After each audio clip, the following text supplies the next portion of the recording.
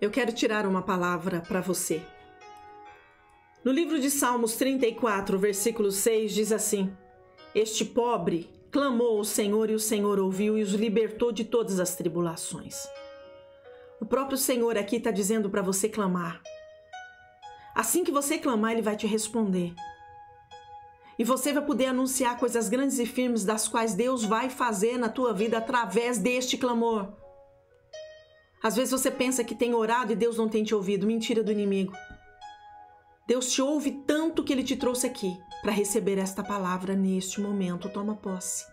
Eu quero orar por você. Senhor, Neste momento eu estou diante da tua presença, eu te agradeço por esse momento agora, a qual essa pessoa parou para ouvir esta palavra e esta oração. Eu não sei o que ela está precisando, Senhor, mas hoje a tua palavra diz: clamou este pobre, o Senhor os ouviu, os livrou.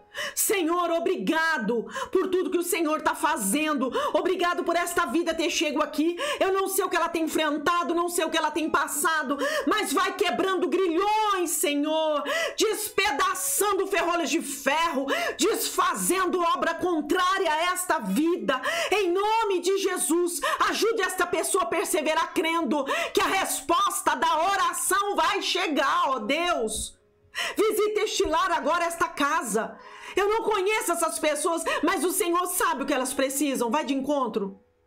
Vai de encontro às necessidades dessa pessoa, Senhor, trazendo paz ao coração desta pessoa. Eu não sei o que ela vai sair para fazer agora. Vai na frente, quebrando laço, quebrando embaraço, desfazendo todo o mal, todo o levante do inferno, Senhor. Que tudo que ela for fazer dê certo.